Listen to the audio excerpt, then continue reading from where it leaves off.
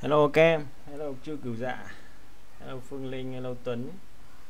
Thầy à, chào thơ thầy chào chi. Các bạn à, xem loa ổn định chưa? Loa mic các thứ âm thanh sáng ngon chưa? Hello tất tây em. Chào tuyền nha chào khánh linh. Test cho thầy một tí về loa đài đi các bạn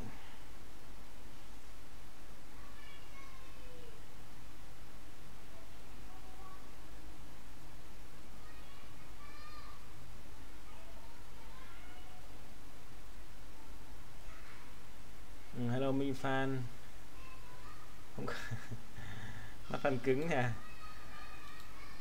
hôm nay thầy trò mình sẽ khô máu ta sẽ chữa cái đề um, thực chiến hôm qua thầy trò mình vừa mới chữa.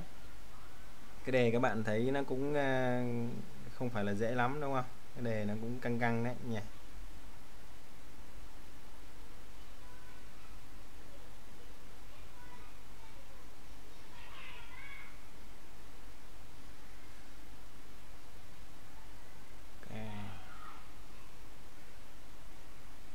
Mic ổn không các bạn nghe không? Các bạn có nghe rõ không?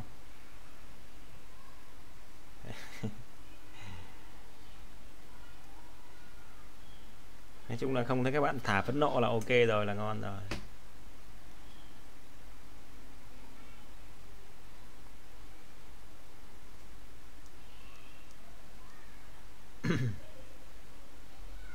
Các bạn có nghe không? Có nghe không?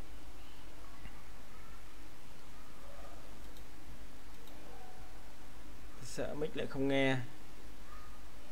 Ồ, không nghe được gì à? Thôi tôi chết nhà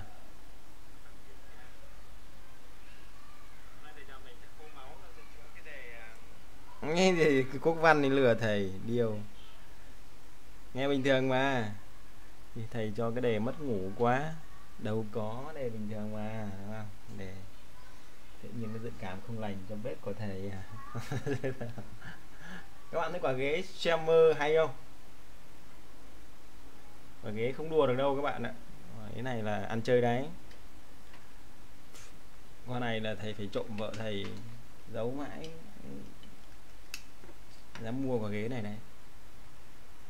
Gấu lắm.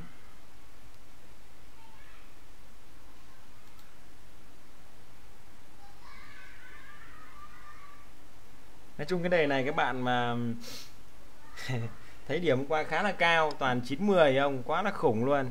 Cái đề này à, khó mà. Đề này của ta là 50 câu. 50 câu ra xem nào. Này, câu nó cũng nhẹ nhàng, tình cảm. Ôi, cái câu cuối này, khiếp.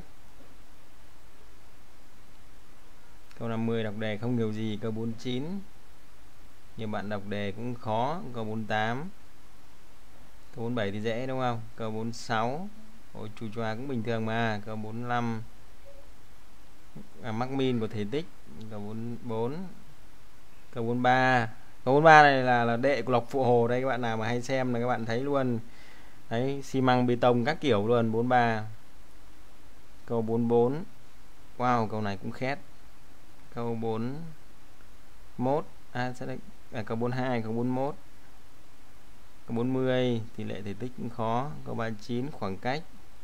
38 logic chữ M, câu 37 cực trị, câu 36 câu 36 là cái gì? Tập xác định của logarit, câu 35 là cực trị cực trị của hàm hợp. Câu 34 mắc min thể tích, nón trụ. Wow. Chung đề của ta là tương đối cứng nhỉ? Đọc đề toán mà cứ tưởng làm tình huống đó rồi công dân đấy hả? Em vừa làm vừa khóc. Đi yêu tòa. Có file đề không thầy? Có file đề em. File đề thầy post ở trên page rồi. Thầy post trên page hôm qua nè. Đúng không? Nào các bạn tranh thủ chia sẻ với đi về cái đề này nó khá là hay các bạn. Thấy nhiều bạn à, làm à, ở bên các à, page khác bên các thầy cô khác được 9 được 10 nhưng mà làm đề này toàn được có 5 6 thậm chí các bạn được có 4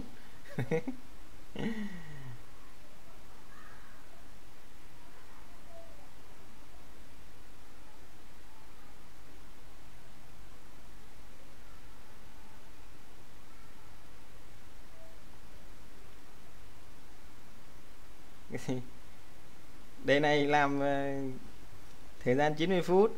Đề như thi thật mà đề này là ta đang chiến đấu như thi thật luôn. Hello công phúc. Đề như thi thật luôn.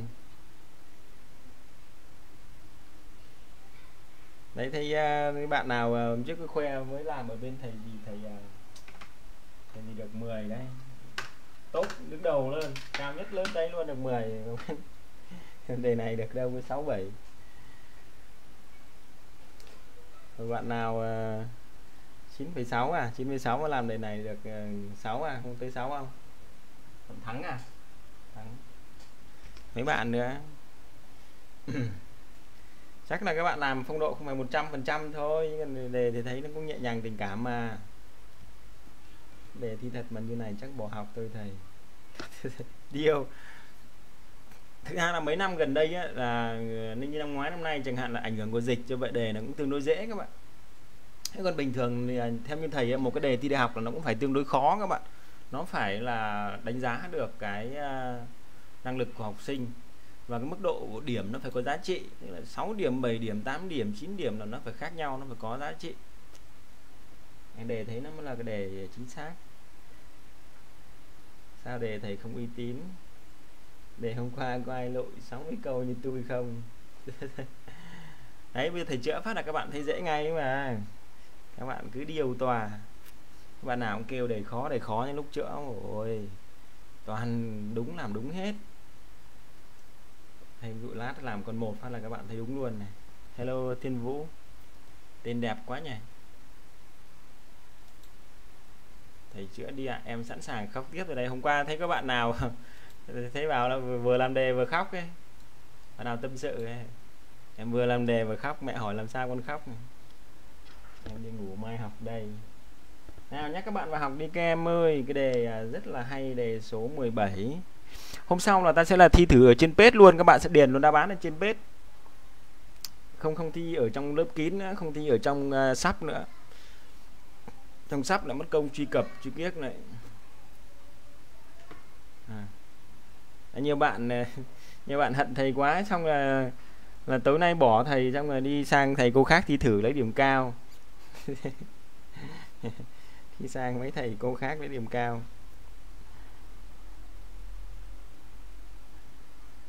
Rồi bắt đầu ta chiến đấu chưa? Các bạn sẵn sàng chưa? Các bạn sẵn sàng chưa? Ai uh, chưa chia sẻ thì các bạn chia sẻ về đi nha chia sẻ về thì ta sẽ học không ạ chia sẻ về đi chia sẻ cho thầy đi nào nhanh chóng. Thiêu thi ở đâu dưới 4 hả? Hôm qua có bạn mà thầy cộng 3 điểm rồi các bạn à thầy cộng 2 điểm đấy nhỉ? Hai điểm rồi thầy cộng cho hai điểm rồi. Mà vẫn được có 3,6 tức là tức là các bạn ấy được có 1,6 điểm cái đề này. Không hiểu học hành gì. Mà nhắn tin toàn cái gì? Giải nhanh với cái số các kiểu không các bạn ạ. Sẵn sàng chưa các bạn chiến đấu chưa thầy cho mình chiến đấu nhé này, các bạn thấy thầy trắng không này, chỉnh chưa bao giờ thi đề thầy mà thấy vui đức trần Đức Trần hôm rồi thi ờ, bên thầy ờ, thầy gì được 10 điểm đúng không? Thầy Đạt à đúng không? Được 10 điểm à. Đề này được mấy điểm em?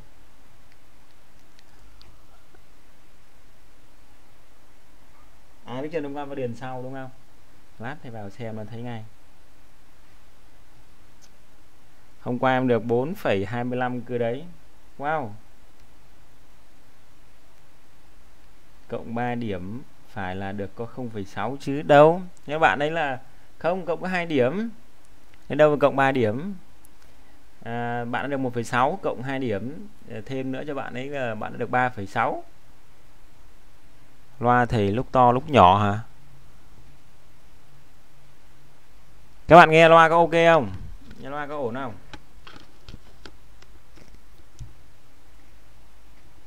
Loa ổn không? Loa các bạn nghe ổn không?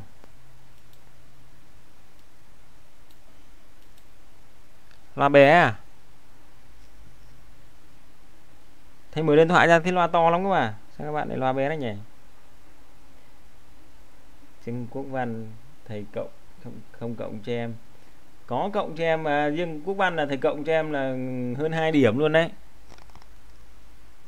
Nguyễn Tuấn chắc không ai biết tôi được 1.6 đâu loa nhỏ xíu hả? Sao lại nhỏ được nhỉ loa vip mà sao lại nhỏ được?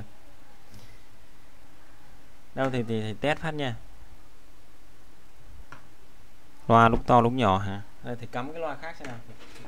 Tí thì cắm cái mic khác thì có cái ô chết rồi. Chết rồi mất cái lọc âm rồi.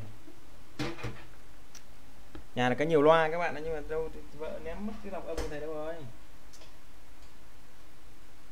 Chết tôi rồi có cái lọc âm xịn lắm mất cái lọc âm này thì nó, nó ấy. Nghe bình thường mà đúng không các em? Tôi không phải cắm cái mới đâu.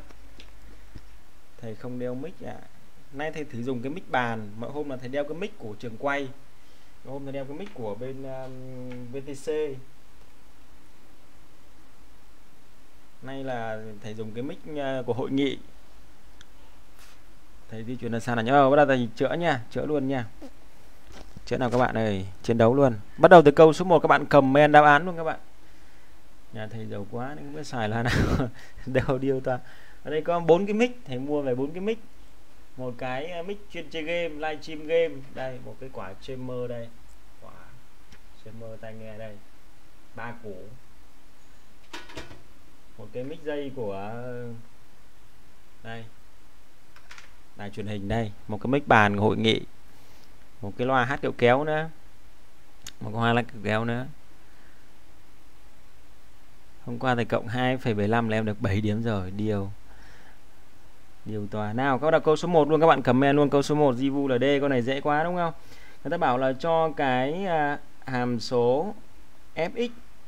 Đấy, có cái đồ thị như cái hình vẽ này thì người ta hỏi là đó là cái hàm số nào trong bốn cái đáp án trên? Bốn đáp án trên. Con này thì dễ luôn đúng không? Con này mà sai nữa chết này, chắc không ai sai đâu. Con này thì chắc chắn là là D rồi nhà các bạn thấy luôn thằng này có cái gì? Có tiệm cận ngang. Tiệm cận ngang của hắn. Y nó bằng bằng một. Và các bạn có luôn tiệm cận đứng của hắn. X của hắn bằng bằng một. Wow. Tiệm cận ngang bằng một. Như vậy là các bạn loại được ngay đáp án A và đáp án B rồi, đúng không? A và B rồi. Đó rồi, thế bây giờ tiệm cận đứng bằng x bằng 1 thì cả thằng C và thằng D đều thỏa mãn, thậm chí là cả bốn thằng đều thỏa mãn cả. Bốn thằng thì ai sai từ câu 1 đấy? Buồn cười đấy. Nào, như vậy bây các bạn nhìn luôn này. Nhìn luôn, là cái đồ thị hàm số này á, cái đồ thị hàm số này các bạn nhìn thấy là đi qua góc tọa độ này các bạn này, đi qua tọa độ này. Đó, các em nhìn thấy đi qua tọa độ. Như vậy là nó đi qua cái điểm gì? Đi qua cái điểm m tọa độ là không không không. Tức là thay x bằng không vào thì y nó phải bằng không như vậy là chỉ có cái thằng d này thỏa mãn thôi đúng không? Như vậy đáp án của ta là là d đúng không ạ? Như vậy các bạn có thể là giải con này. Nhận xét nhanh đúng không ạ? Nhận xét nhanh. Là đồ thị hàm số đồ thị hàm số có tiệm cận ngang. Y nó bằng bằng một. Như vậy là các bạn loại luôn được hai đáp án a và và b. Tiếp theo là các bạn có là đồ thị hàm số. Đi qua cái điểm à, điểm o luôn o không không đi. Không không như vậy là các bạn loại luôn được cái điểm. À, loại luôn đáp án đáp án c. Như vậy đáp án của ta phải là là d rồi. Quá nhẹ nhàng và tình cảm. Con này đấy con đề dễ này mà các bạn kêu gì? Rồi con số 2 luôn các bạn. Gọi L, H, R lớn lần lượt là độ dài của đường sinh chiều cao và bán kính đáy của một hình nón. Thì người ta hỏi là diện tích toàn phần của cái hình nón này là bao nhiêu? Con này thì chắc là dễ quá rồi nhà đúng không? Con này thì nhẹ nhàng và say đắm rồi không không không không khó nhỉ. Đó con này thì người ta cho cái hình nón ấy, hình ảnh như này. Các bạn lưu ý là người ta đang hỏi là diện tích là diện tích toàn phần các em nhé diện tích toàn phần. Thì các bạn chú ý cho diện tích toàn phần.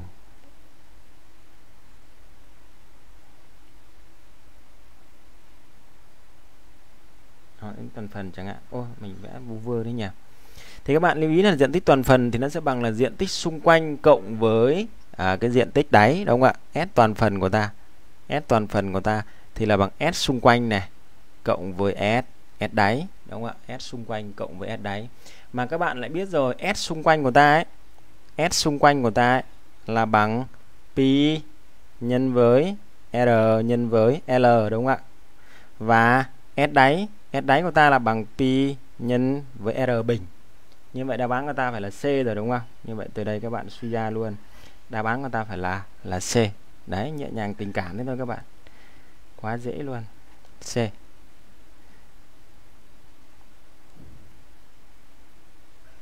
Đấy ui không bạn nào làm sai đâu.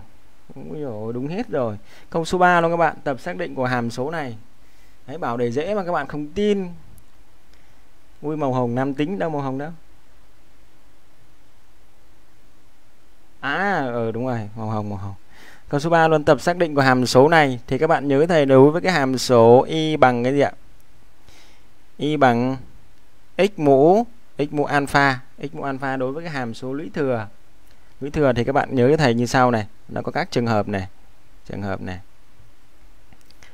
Đấy, tùy vào cái thằng alpha thì các bạn sẽ có là cái điều kiện của thằng x này nó sẽ khác nhau. Rồi alpha của ta này mà thuộc vào à, z z cộng số nguyên nguyên dương thì điều kiện của ta là cái gì ạ? Là mọi x luôn các bạn. Mọi x. Alpha của ta mà thuộc vào số nguyên nguyên âm thầy ký hiệu là z trừ thì điều kiện của ta đây á nó sẽ là x nó phải khác khác không. Và alpha của ta mà không nguyên đấy, tức là không thuộc vào z thì các bạn có điều kiện của ta là x nó phải lớn hơn hơn không. Như vậy là từ đó các bạn xuyên điều kiện của thằng này là x mũ 3 trừ đi 27 nó phải lớn hơn hơn không, hay tương đương với x nó phải lớn hơn hơn 3 không có dấu bằng. Như vậy là, wow, B rồi, đúng rồi, chính xác. B rồi, con này không có bạn nào sai nhỉ. Nước mắt em rơi, trò chơi kết thúc rồi B. Này đấy, dễ quá, đúng không? Cái điều kiện là các bạn phải nhớ nhé ôi, tôi chết chết. Cái điều kiện là các bạn phải nhớ thầy. Đúng không ạ? Ôi, sao nó lại ra cái này? Đây này, cái điều kiện này các bạn này, là các bạn nhớ. Không được quên nha không được quên. Đây, cái điều kiện này. Không được quên cho thầy. rồi ta sang tiếp theo là câu số 4 thể tích lăng trụ tam giác đều có tất cả các cạnh là bằng A. Lăng trụ tam giác đều các bạn ạ. Lăng trụ tam giác đều có tất cả các cạnh là bằng bằng A. Ôi, con này lại yêu thương quá. Đấy bốn câu cho điểm rồi các bạn. Thế mà nó vẫn đòi hack nick của thầy. Không hiểu thế này tình cảm thầy trò đi đâu được. Đề cái dễ thế này mà mấy đứa nó có đòi hack nick của thầy.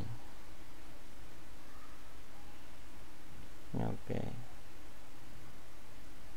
lăng trụ tam giác đều. Tất cả các cạnh đều bằng a các bạn ạ. Cạnh đáy là bằng a, cạnh bên là bằng a. Và các bạn có là cái thể tích của cái thằng lăng trụ thì nó bằng là h nhân với s s đáy.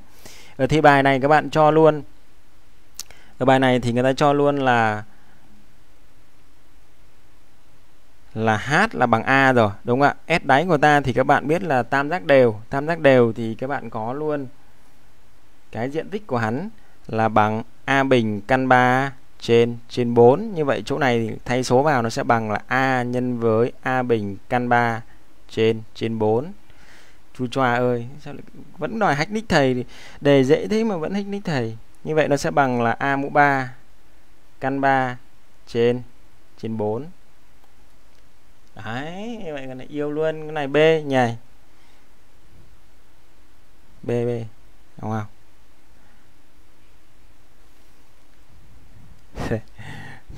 Nào tiếp theo câu số 5 nào. Ờ, số giao điểm của đồ thị hàm số này với trục à, hoành là bao nhiêu? Đấy, số giao điểm của cái đồ thị hàm số. Thì các bạn lưu ý cho thầy là số giao điểm của cái đồ thị hàm số y bằng fx với trục o ox thì nó chính là số gì ạ? Số nghiệm phân biệt số nghiệm phân biệt của cái phương trình phương trình gì fx là bằng bằng không. Đấy, như vậy là các bạn chỉ cần làm gì thôi. Các bạn giải cái phương trình f, fx này bằng bằng không là được, đúng không ạ? Fx bằng không là ok. Đấy, như vậy là từ đó các bạn suy ra luôn. Các bạn xét cái phương trình, xét phương trình là x mũ 3 trừ đi 3x bình, trừ đi 9x cộng với à trừ đi 2 xin lỗi các bạn, trừ đi 2 tí nữa mình lại bẫy mình, chết bằng bằng 0. Các bạn giải con này ra phát. giải con này ra phát, các bạn thấy luôn đáp án của ta phải là ba nghiệm đúng không? Con này là có ba ba nghiệm phân biệt, ba nghiệm thực phân biệt. Như vậy các bạn suy ra đáp án của ta phải là C. Có thấy ai sai con này đâu. Đấy, 5 câu rồi các bạn này, 5 câu rồi. Ok, tiếp theo câu số 6 đó các bạn. Comment đáp án cho thầy luôn nha, thử luôn một hình trụ có chiều cao là bằng 2 bán kính đáy là bằng 3 các bạn ạ, hình trụ này có chiều cao bằng 2 và bán kính đáy nó bằng 3 đấy, thì thể tích của khối trụ đã cho là bằng bao nhiêu? Hình trụ này. Ok. Giáng xuống. Ok đấy. Giáng xuống.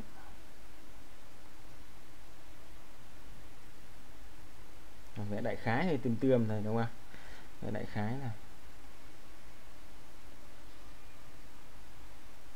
Này. Đấy, các bạn vẽ thấy hình trụ đẹp không? Nói chung là làm cái quả nháp vào là các bạn thấy vẽ nó đẹp hẳn. Quả nháp 30 củ vào các bạn thấy vẽ đẹp không? Ai da da. rồi đây các bạn có luôn chiều cao là bằng hai này, chiều cao h của ta này là bằng hai này và cái bán kính đáy các bạn ạ bán kính đáy của ta đây. Đó r của ta là bằng bằng 3 thì các bạn có luôn là thể tích của cái khối trụ ấy, nó cũng bằng là h nhân với s s đáy hay các bạn viết ra là bằng h nhân với pi nhân với r r bình các bạn. Rồi các bạn thay số thôi. Thằng này h của ta sẽ là bằng bằng 2 nhân với pi nhân với 3 3 bình. Như vậy chỗ này sẽ là bằng 18 18 pi. Đáp án của ta phải là là C rồi đúng không? ui ở này khô máu luôn. Dễ ngon không? Để quá dễ luôn. Hay chà, không có ai sai đâu. Không nghe bạn nào sai rồi, câu số 7 luôn các bạn ơi. Ui câu này sở trường luôn, cho cái hàm số y bằng fx. Liên tục trên r và có đồ thị như hình bên, thì người ta hỏi là cái hàm số này thì nó nghịch biến ở trên cái khúc nào? Đây là fx này các bạn này. fx ông cái chữ f mình xấu thế nhỉ?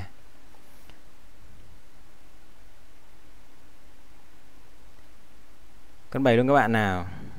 Nghịch biến nghịch biến thì các bạn cứ nhìn thấy cái khúc nào mà cái đồ thị nó hướng đi đi xuống, đúng không ạ? Hướng đi xuống. Theo cái chiều từ trái qua phải là nó sẽ nghịch biến. Như vậy ở đây các bạn thấy luôn là đoạn là 001 đúng không? 7C đấy, thủ khoa rồi. 7C đúng không ạ? như vậy là con này là dễ. Con này chỉ cần là gì? Từ đầu thị hàm số. Từ đầu thị hàm số. Đấy, suy ra là là C. Thế là xong.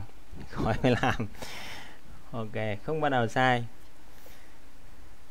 À, câu tiếp theo là câu số 8 cho cái hàm số y bằng như thế như thế như thế. Giá trị của m để à, lớn nhất của hàm số trên 01 là bằng bằng 4 con này thì chu choa ơi dễ quá nhỉ. Quá câu số 8 câu số 8 các bạn tính luôn.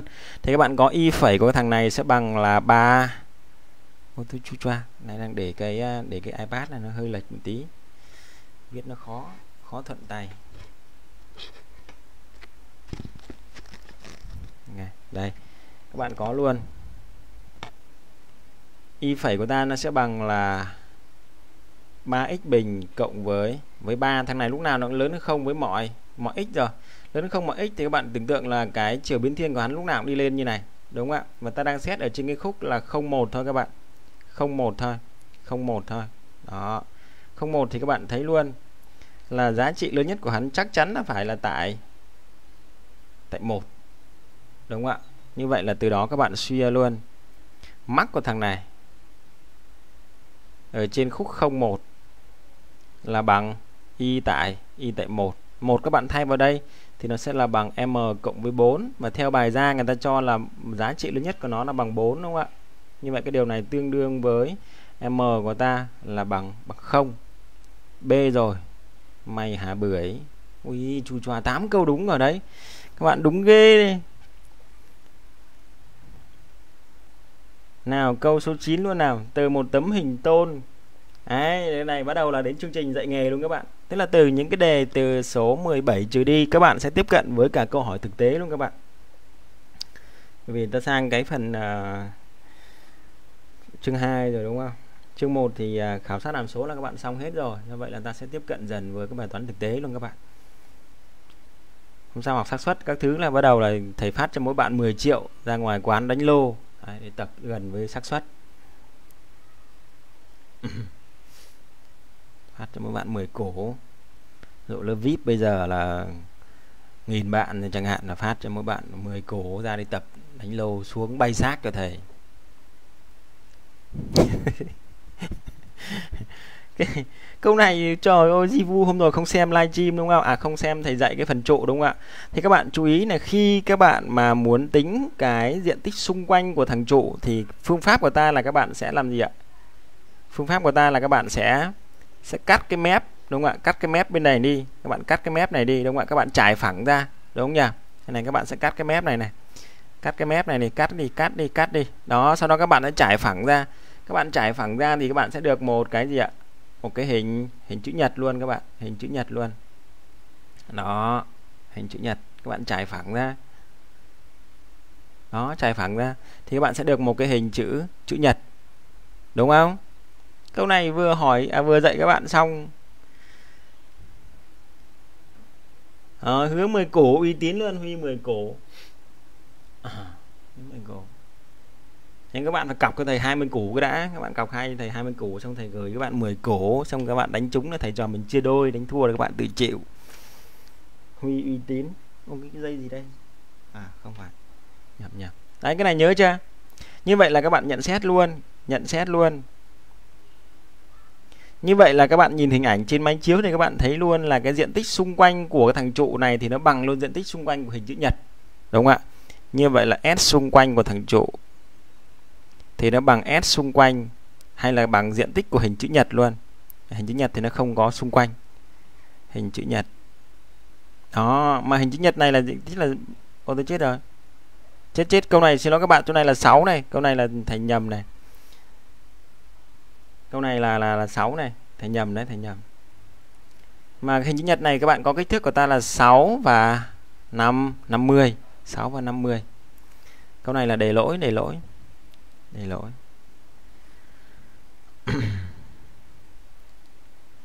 Để lỗi. Sau đây các bạn nha. À không, nếu mà à, chiều cao bằng 5 thì có nghĩa là người ta gọt đi mất một đoạn là là là là là một một mét đúng không? Thì cũng ra bình thường cũng ra bình thường. Thì bây giờ cái hình trụ của ta đây các bạn thấy có chiều cao của hắn là bằng 5 này. Ta làm theo cái ta làm theo cái đề à, đề để không không không không không sửa nha vẫn thế nha. À, như vậy đang chiều cao của ta là bằng 6 đúng không? Đang 6 này 5 50 nhưng mà lát người ta cắt đi người ta cắt đi là chỉ còn có là chiều cao là 5 thôi các bạn. Cắt sang là chiều cao là 5 thôi. Như vậy là cái thằng chu vi ở đây á chu vi đây á, là tổng của hắn vẫn là 50 này các bạn này. 5 50 như vậy là các bạn cắt sang bên đây á, thì đây nó cũng là 5 50 và đây là là 5 thì cái câu này là lỗi nhá lỗi đề lỗi đề chỗ này. Đó.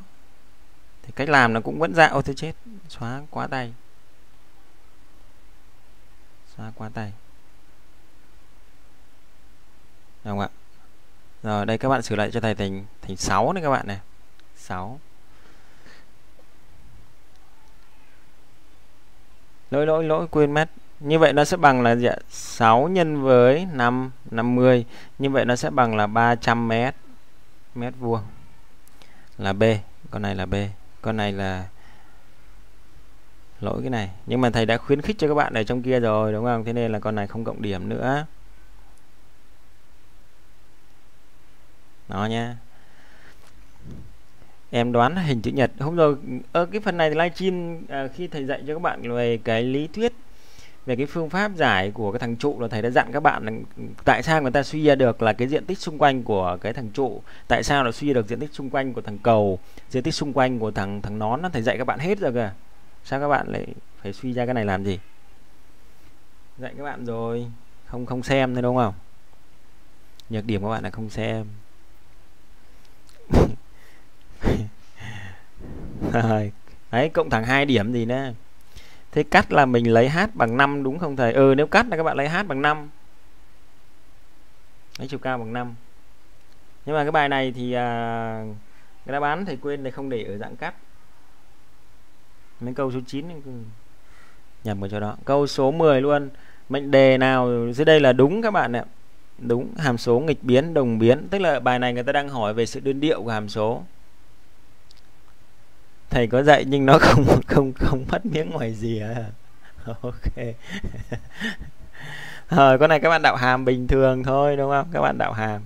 Các bạn có y phẩy của ta sẽ bằng là chỗ này sẽ là bằng 4x đúng không ạ? 4x nhân với x bình trừ đi trừ đi trừ đi 4 cái này bằng 0 thì khi và chỉ khi. Các bạn có luôn, hoặc x là bằng bằng 0 hoặc x là bằng cộng trừ cộng trừ 2 như vậy là các bạn có luôn cái dấu của thằng y phẩy. Dấu y phẩy. Đó, như vậy nó sẽ là trừ 2 này 0 này 2 này. Đây chắc chắn là dương rồi, âm rồi, dương rồi, âm rồi, đúng không? Rồi như vậy là hàm số này nó sẽ đồng biến ở trên hai khúc à trên trên hai khúc. Là cái gì ạ? Trừ 2 đến 0 và 2 đến dương vô cùng. Còn lại nó nghịch biến trên hai khúc còn lại, đúng không ạ? Như vậy đáp án chuẩn của ta đây phải là D đúng không? D đúng rồi. Trừ 2 đến 0 và 2 đến dương vô cùng. D. Rồi câu số 11 luôn các bạn. Câu số 11 luôn. Câu số 11 Xóa cái này đi thì các bạn à, nhìn cho nó tiện. Đấy hay thế dạy ở trên cái iPad nó có cái hay chỗ là cái file PDF đây các bạn. Thích xóa cái thằng nào các bạn xóa này chữ chiếc các bạn thích xóa cái gì các bạn xóa, tẩy xóa được hết các bạn. Nhược điểm của cái này là cái gì ạ? Nhược điểm cái này là tốn tiền. Nhược điểm chỉ có thế thôi.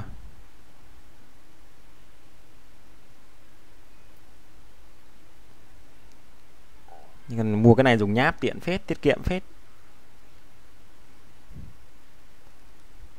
Hồi hồi thì mua cái iPad này về đi qua vợ lườm, đi về vợ lườm, đánh suốt ngày, khổ thân thầy. Nên là dạy cho các bạn đang phải trốn vào trong cái phòng của thầy, đang phải trốn vào cái phòng riêng để dạy, không dám ra ngoài dạy đâu, ra ngoài đánh chết. Khổ lắm. Câu số 11 nào? Nháp này 200 cổ hay là 30 cổ? Nháp này là 30 cổ, thêm cái bút 5 cổ nữa, thêm cái bộ dây hai cổ nữa.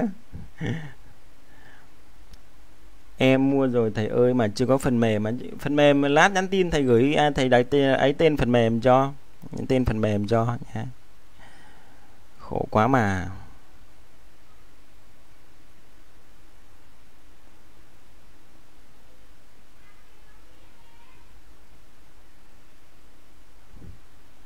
Nè 11 luôn các bạn. 11 mà con này có 11 mà trong bạn nào còn đang D thế. Một hình nón các bạn ạ một hình nón có thiết diện qua trục. Cái hình nón đây, các bạn kẻ luôn. Đây. Ok. À thôi. Quên. Vẽ cái đáy trước. Vẽ cái đáy trước cho nó chơi bời. Ôi, tôi chu choa. Ôi, tôi chu choa. Đây. cái này thi thoảng nó vẽ rốt lắm các bạn ạ. Này thi thoảng nó vẽ rốt lắm. Đây, thầy à, thầy vẽ dưới đây đi, vẽ dưới đây đi ok. Nào, các bạn nhìn nha.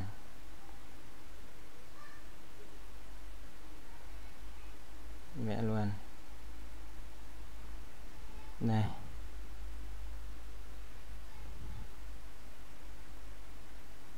Bạn đợi thì xíu. Ở đây. Đó, đẹp luôn, các bạn thấy luôn ạ. Thế thiết diện quan trục là cái thằng cu nào? Thiết diện quan trục là đây, các bạn này đây thì qua trục trục đây đây thì đặt đây là S này đây là A này B này đúng không ạ À em mua tab S7 Samsung là có sẵn bút và dòng à, của dòng nốt là viết nghe soạt soạt thích phết. Ừ, cái cái tab S7 à, viết cũng ngon phết. À, trước thấy bạn thầy à, cũng mang xuống hồi đấy thầy đang phân vân giữa thằng tab với thằng iPad thì bạn thầy có mang xuống thầy xem. Mang xuống xem thì à, thì thấy cái dòng mà S7 của Samsung viết ngon phết các bạn. Mua hẳn cái con tab Plus đấy. Tab Plus S7 Plus đấy. Nó có sẵn bàn phím luôn, sẵn bàn phím, sẵn bút luôn. Con này thì phải vì con iPad này thì lại phải mua riêng các bạn ạ. Phải mua riêng cái cái à, bàn phím mà mua riêng bút đắt lòi thì các bạn ví dụ như mua cái iPad này chẳng hạn là 30 triệu nha. 30 triệu nha, các bạn mua cái bút mà mới chẳng hạn là mất 4 5 triệu nha. Như thầy là bút pencil 2 chẳng hạn là mất 4 năm củ nha 4 5 triệu nha. Xong là mua các bàn phím Magic cây của hắn của hắn 7 8 triệu đó các bạn ạ. Khiếp, đắt lòi giờ kinh thật. May mà đây là thầy không có tiền mua, may mà thầy đi bốc thăm trúng thưởng nó trúng đấy các bạn ạ. Bốc thăm trúng thưởng trúng đấy, chứ còn tiền đâu mà mua cái loại này. Không có tiền mua cái loại này hôm đi mua dầu ăn đi mua dầu ăn đấy là à, cái quán đấy nó mới khai trương thì nên nó là nó nó bốc thăm trúng thưởng khách hàng thân thiết kiểu như tri ân khách hàng lâu năm ấy. Quán đấy mới mở lần đầu thôi thì bắt đầu nó đã tri ân khách hàng lâu năm rồi. Đấy khách hàng thân thiết thì thầy bốc thăm dầu ăn thì trúng. Tiền đâu mua cái này? Mua khoa học mất 1 triệu mua dụng cụ học tập 30 cổ tiền in tài liệu hai cổ nữa. yeah. có bạn à, có bạn tâm sự biểu với thầy biểu thầy ơi thầy em in tài liệu của thầy ra đắt hơn tiền khoa học. Ờ, Rồi, ta giải luôn con này các bạn nha. Thế thì thiết diện qua trục thể tích của khối cầu nội tiếp trong hình nón. Khối cầu các bạn ạ một cái khối cầu nội tiếp vào trong cái hình nón giờ ta vẽ cái khối cầu phát. Vẽ cái khối cầu đây. Ủa sao lại sao lại có khối cầu hình như này? Buồn cười đấy nhỉ ok, đây rồi. Đây.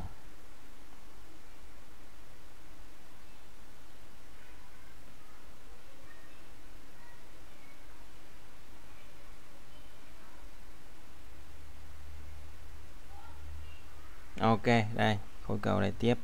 Lại thêm một đường nữa cho nó đẹp. Tím tím thủy chung đi các bạn. Tím tím thủy chung. Ok.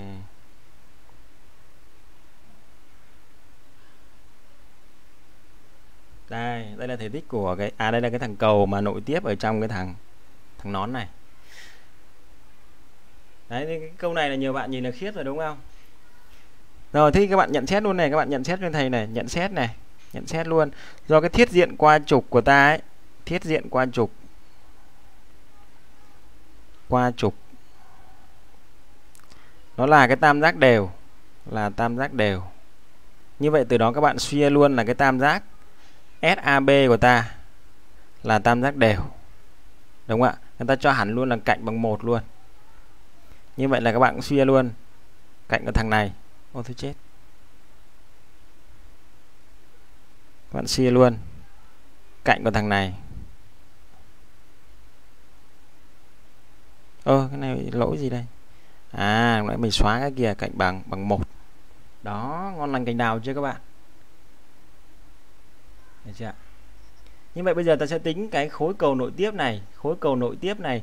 Khối cầu nội tiếp này thì các bạn thấy là cái đường tròn của hắn ấy, cái đường tròn lớn thế này các bạn này nó sẽ là cái diện nội tiếp ở trong cái tam giác SAB như vậy các bạn suy luôn cái khối cầu nội tiếp đây ạ. Khối cầu này. Cầu nội tiếp này nó sẽ có này đường tròn lớn. Đường tròn lớn đúng không ạ? Đường tròn lớn của hắn là nội tiếp. Cái tam giác SAAB tam giác SAB mà các bạn thấy luôn cái tam giác này á, là cái tam giác đều cạnh nó bằng một rồi đúng không ạ? Cạnh bằng một rồi. Và các bạn có luôn cái bán kính luôn. Các bạn suy luôn là cái bán kính nội tiếp của ta. Thì các bạn nhớ thầy là bằng cái gì? Bằng diện tích chia cho cái gì? Chu chu vi. Đó. Dễ không? Diện tích là chia chu vi thế thì diện tích của ta là bằng cái gì? Đúng không ạ? Diện tích của ta là bằng cái gì? Các bạn nhớ thầy là cái diện tích của cái tam giác đều là bằng cái gì ạ? a bình căn 3 trên 94 còn cái chu vi à đây nửa chu vi. Đây, chu vi. Đây. Đây, cạnh đây các bạn thấy là cái dạng tam giác đều là cạnh bằng một. Nửa chu vi đây là bằng à, 1 cộng 1 là ở đây 3 3 phần 2 đúng không? Nửa chu vi. Đây là 2 đây là P là nửa chu vi các bạn nhé. Nửa chu vi táp xịn mà táp làm gì mà nhà nghèo nhà giàu người ta mới dùng táp. Đúng không ạ? Như vậy đây là bằng căn 3 trên trên 4 chia cho 3 phần 3 phần 2 tức là 1,5 ạ. Nhưng mà đây sẽ là bằng căn 6 phần à, xin lỗi các bạn là căn 3 phần 6 căn 3 phần phần 6 đó xong. Vậy mà các bạn có luôn là thể tích của cái thằng khối khối cầu là sẽ bằng 4 phần phần 3 pi nhân với r mũ mũ 3 rồi bây giờ các bạn thay số thôi. Nó bằng 4 phần phần 3 pi nhân với căn bậc bậc 3 phần 6 tất cả mũ mũ 3 như vậy đáp án của ta đây sẽ là rút gọn đi nào 36 xong mất. Như 36 tiếp là 2 là 54 đúng không ạ? Như vậy là bằng uh, pi căn 3 chia cho 50 54 pi căn 3 ờ, như vậy là D rồi. D luôn đó. Dùng cái này thì nó có cái hay ở chỗ là vẽ nó đẹp các bạn ạ vẽ nó đẹp. Chỉ được mỗi thế thôi các bạn. Đây bạn nào mà khả năng lâu á, là các bạn quên đến công thức này này các bạn quên công thức này này đây này. Các bạn nhớ thầy là cái công thức của gì ạ? Của cái thằng diện tích tam giác thì nó có khá nhiều công thức trong đó có một công thức rất là hay liên quan đến bán kính của cái đường tròn nội tiếp tam giác. S bằng P nhân với R thì không biết các bạn nhớ công thức này không? Cái này là của lớp 9 lớp 10 là có rồi. Lớp 10 ở trong cái phần hệ thức lượng tam giác là các bạn cũng được học lại cái này này. Có cái này này. Nhưng mà ít dùng thôi các bạn, ít dùng. Đó, thì thầy đánh vào cái tâm lý ít dùng. Đấy, ngon luôn, các bạn thấy không? Bây giờ ơi, đề dễ quá, nghe thầy chữa xong là dễ quá trời. Đổi màu phát cho nó, không mọi người bảo là màu nhìn ái ái. Đây, đấy, màu đẹp chưa? Ôi, tôi chết.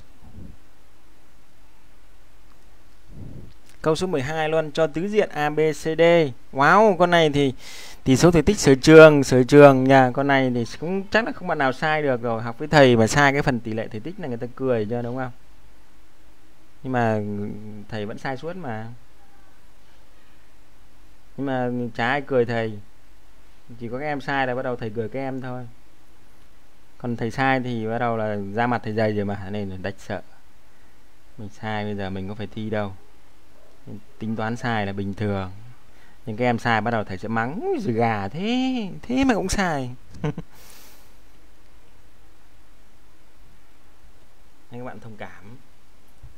Rồi thì bây giờ các bạn có là b phẩy c phẩy là trung điểm của thằng Ô, tôi chết tôi lỗi tôi lỗi. Tôi lỗi tôi lỗi. A, b, c b, c, d. Thế thì b phẩy c phẩy lần lượt là trung điểm của hai thằng cu này. Một hai, ba, bốn, năm, sáu, một, hai, ba. Đây. B phẩy c phẩy đây các bạn. Đây là b phẩy này. C phẩy này. Thể tích khối tích diện là a b phẩy c phẩy d à chu choa thằng cu này người ta hỏi cái thằng này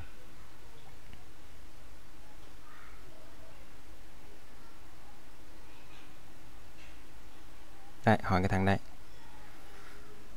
Bao nhiêu các bạn? Kiến thức 11 học không xài lên 12 lại xài lại hết. Đúng rồi, ác như thế đấy. Mà nhiều công thức thì các bạn biết rồi, ui cái này các em không phải học, cái này lên lớp sau các thầy cô sẽ nhắc. Lớp 9 thì dặn bố lên lớp 10, cấp 3 thầy cô sẽ nhắc. Vừa lên cấp 3 các bắt đầu các thầy cấp 3 là hoang cho câu cái này hồi lớp 9 các em đã học. Rồi hồi lớp 10 thấy ui cái phần này công thức thể tích này không à, diện tích này không dùng đâu các bạn ạ. Cái này thôi không dùng đâu.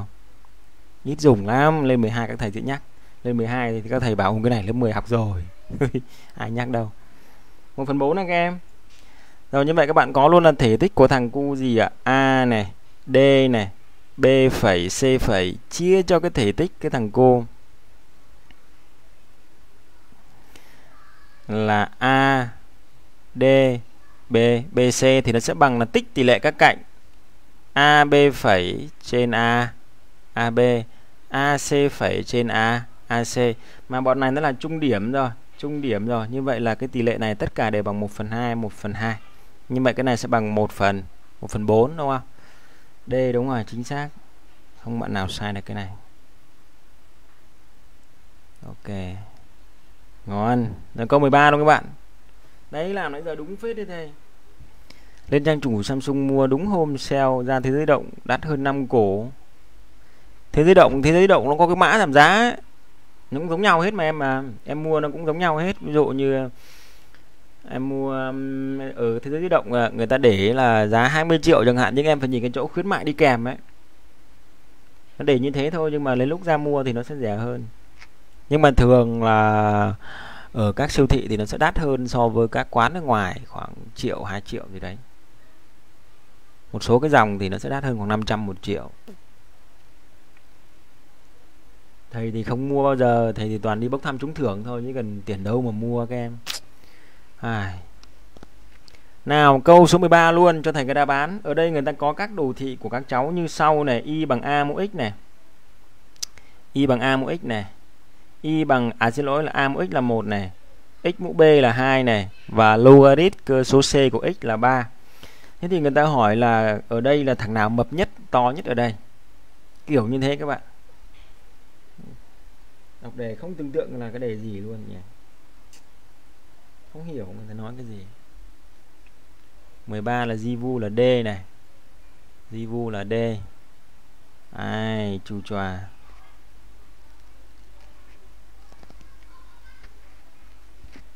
nào. Trước hết các bạn có luôn là cái thằng cắm mặt xuống dưới này. Cắm mặt xuống dưới là cái thằng x mũ x mũ b, đúng không ạ? X mũ b. Các bạn nhớ thầy là cái hàm lũy thừa ấy, hàm lũy thừa mà nó cắm mặt xuống dưới thì có nghĩa là cái gì ạ? B của hắn là phải nhỏ hơn không? B nhỏ hơn hơn không? Tiếp tiếp tiếp.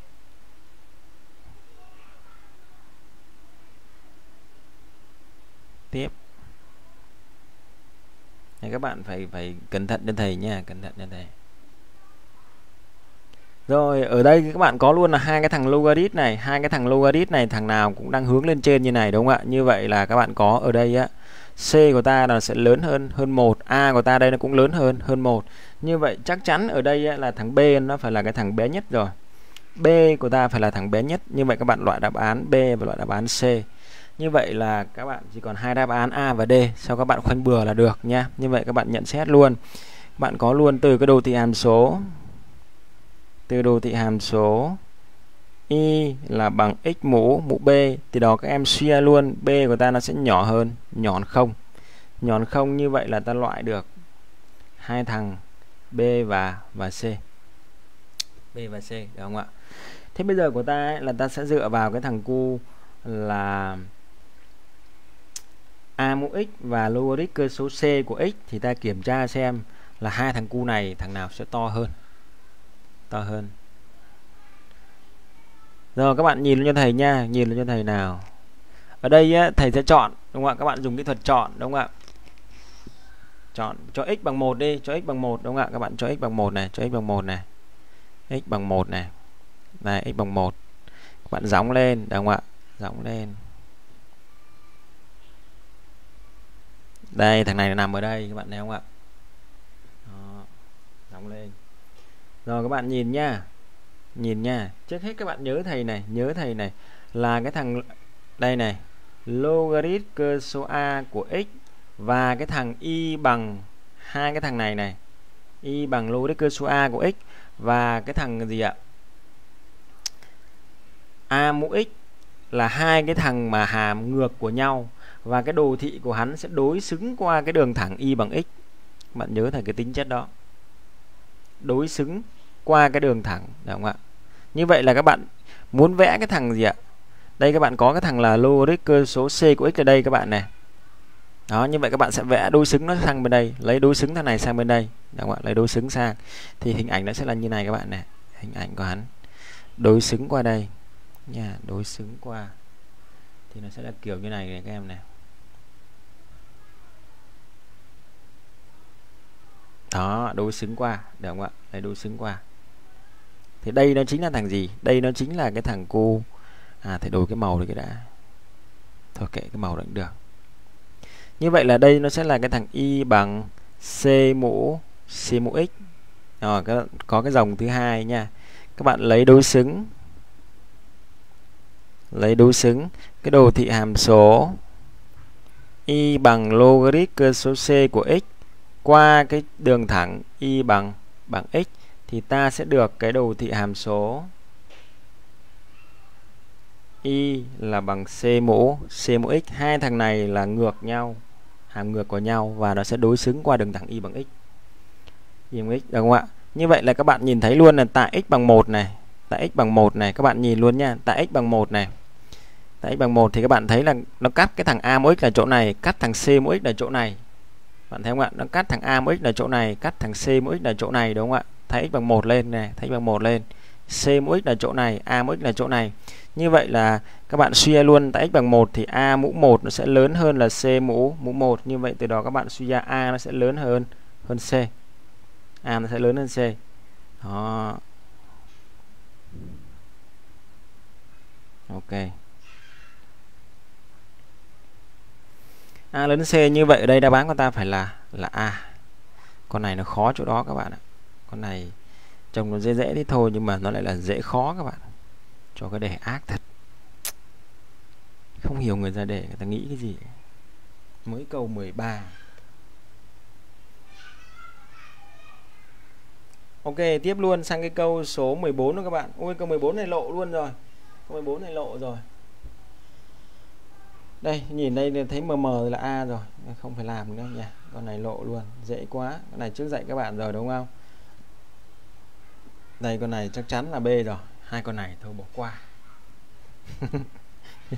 Con này, Con A này các bạn biết làm không? Kỹ thuật các bạn dùng cái gì? Chèn đúng không? Chèn cơ số vào.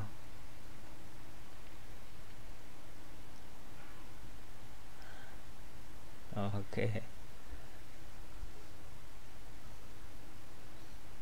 Mới câu 13 mà lừa quá trời. Ừ, lừa thật mà. Để khiếp ác người. Ví dụ như câu 14 này các bạn có luôn này có luôn này cái logarit. Cơ số là à, căn bậc 3 của của 5 chia cho 49 phần phần 8 thì các bạn sẽ tách ra. Cái chỗ này sẽ bằng là logarit cơ số mấy đấy ạ? Cơ số 5 mũ 1 phần phần 3 của cái 49 phần 8 49 phần 8 49 phần 8 thì các bạn có thể là viết ra luôn là 49 thì các bạn viết là bằng 7 mũ 2 8 thì là bằng 2 mũ 3 đó, các bạn các bạn tách ra. Nào, đầu tiên là các bạn sẽ đưa cái thằng 1 phần 3 này ra ngoài này các bạn này. Các bạn đưa cái thằng này ra ngoài. Đưa này ra ngoài. Thì nó chính là bằng cái gì ạ? Bằng bằng 3 đúng không ạ? Bằng 3 nhân với logic số 5 của cái 49 này các bạn viết là bằng 7 mũ 2 cái 8 này các bạn viết là bằng 2 mũ mũ 3 rồi thì các bạn tách ra sẽ bằng logarit cơ số 5 của là 7 mũ 2 đúng không ạ? Trừ đi logarit cơ số 5 của 2 mũ mũ 3 đó là hết bài. Như vậy con này sẽ bằng là 3 này.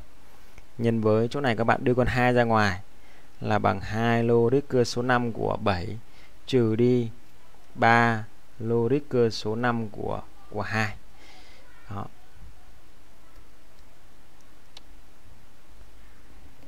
Rồi, như vậy tới đây thì dễ rồi, các bạn thay số thôi, cái này sẽ bằng 3 này 3 này.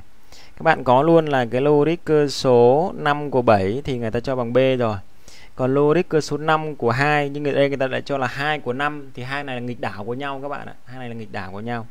Cái 5 của 2 này và cái thằng 2 của 5 này là hai thằng nghịch đảo của nhau, đúng không? Như vậy đây sẽ là bằng 2 2b trừ đi 3 trên 9a đó, như vậy đáp án của ta là a luôn. Con 15 thì dễ thôi nhá. Sang con 16 luôn. Con này cũng cho điểm này đấy, các bạn thấy không? Con 16 yêu thương say đắm luôn. Con này chắc chắn đáp án của ta là nghịch biến à. Ôi, trừ 1 đến 0 rồi. Không chạy đâu được rồi. Con này trừ 1 đến 0 đúng không? Con này thì chỉ cần ghi là từ bảng biến thiên suy ra. Đó, thế này mà bọn nó chê là đề khó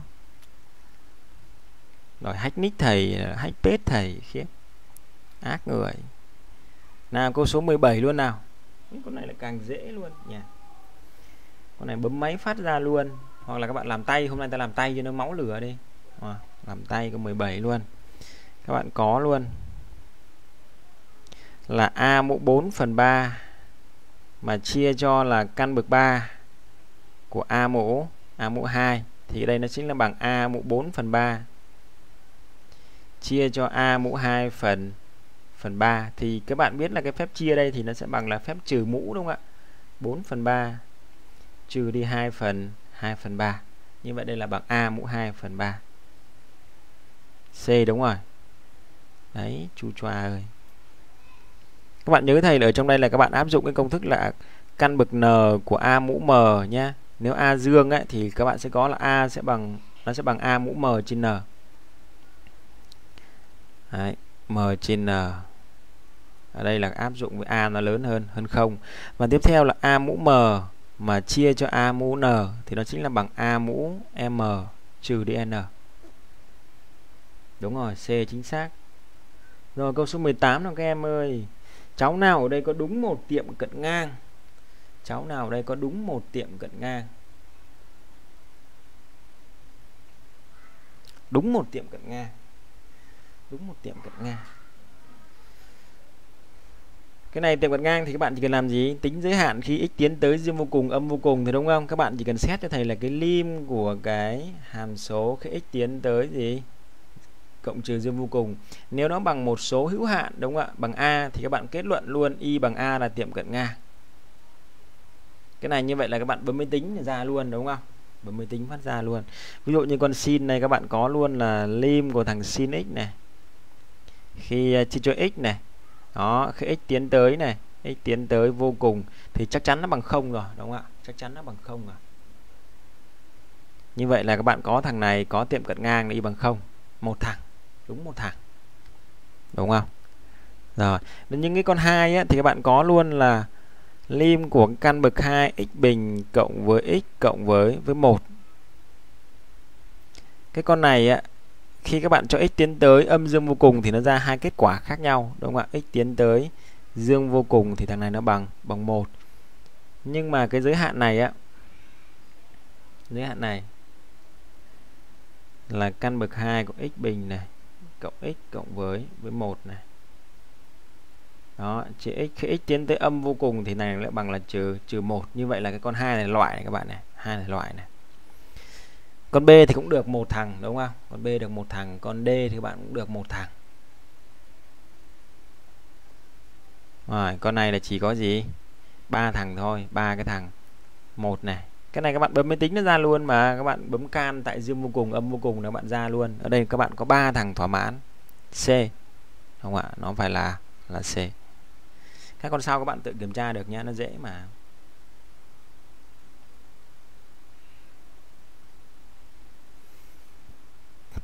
Này, Casio thôi.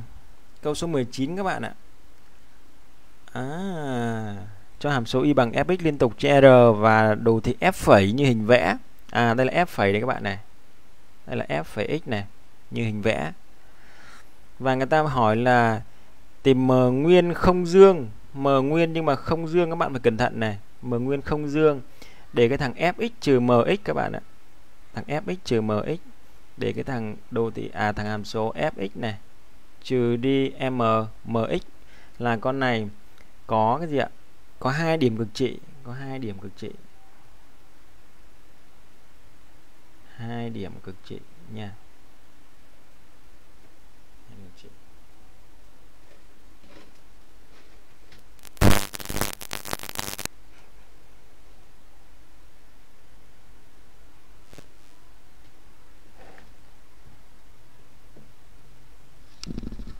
Wow, những cái đạo hàm thôi nhỉ, con này đạo hàm thôi.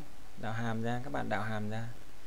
Thì yêu cầu bài toán của ta sẽ là tương đương với cái gì nhỉ? Xem nào. C hả? Thử luôn nha. Như vậy là các bạn có luôn yêu cầu bài toán này. Yêu cầu bài toán này. Tương đương với y phẩy của ta đây là bằng f phẩy x này. Trừ đi m này, nó phải có hai nghiệm bội bội lẻ phân biệt đúng không? Phải có hai nghiệm bội lẻ phân biệt. Đó, phải có hai nghiệm bội lẻ phân biệt. Có hai nghiệm này. Bội lẻ các bạn ạ. Phân phân biệt. Như vậy là tương đương với cái gì ạ? Là cái đường thẳng y bằng m này. Nó sẽ cắt nhé cắt các bạn lưu ý là xuyên qua. Cắt xuyên qua đây các bạn. Cái thằng y bằng f phẩy tại hai điểm phân biệt. Thay cái mic khác để xem này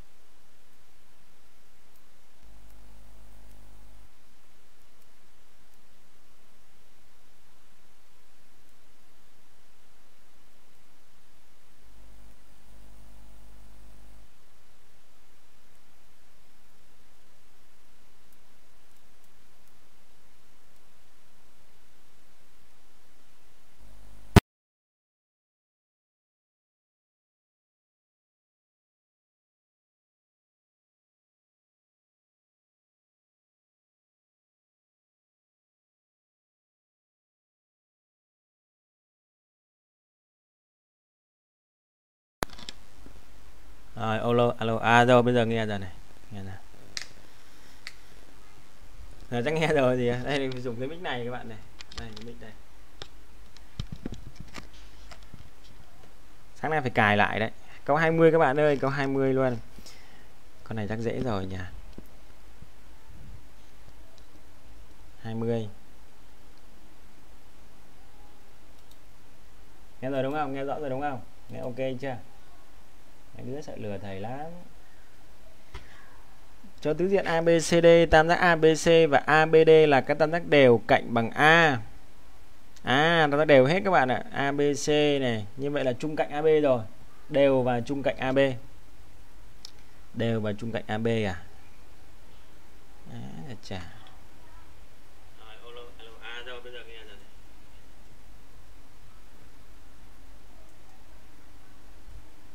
à, là sorry các bạn. Lúc nãy là cái mic nó lỗi xíu. Vẽ tí nha chung cạnh AB à? Chung cạnh AB như vậy lấy AB ở đây. Ô chu choa này AB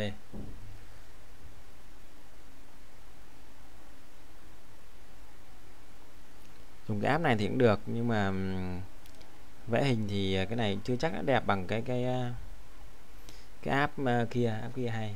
Câu 19 hả? Câu 19 đây. Câu 19 bốn thằng đây. Nhìn hình này các bạn thấy luôn nên gì đây? Đúng không? Đây là đường thẳng y bằng m này. Đúng không ạ? Đó. Đứng hình ha ô lát hình ha để xem nào. Đứng hình nhà các em, xem nào.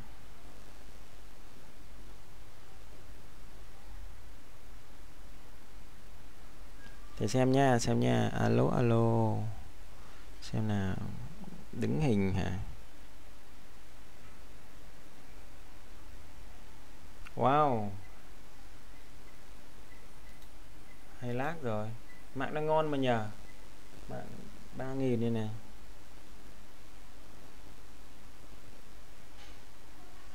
ờ ờ. Chết rồi. Sao này? Đơ đơ à? Đưa rồi đưa rồi. Sao đưa nhỉ?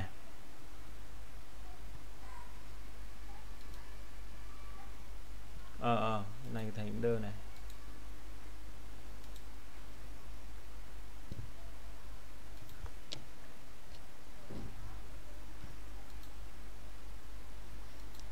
Ờ à, bị đưa hình bị đưa hình đang bị đưa hình thì các bạn.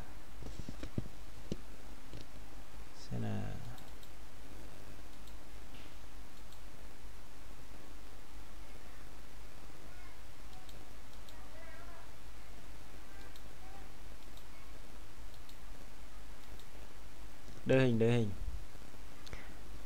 Không phải đâu do cái phần mềm uh, phần mềm uh, ấy đấy không phải do ipad đâu. Do cái phần mềm quay đây các bạn. Thế ta lại dừng tí nhé ta dừng 2 phút xong lại ta lại vào nhé ta dừng 2 phút ta vào nha các bạn nhé 2 phút ta vào. Ok.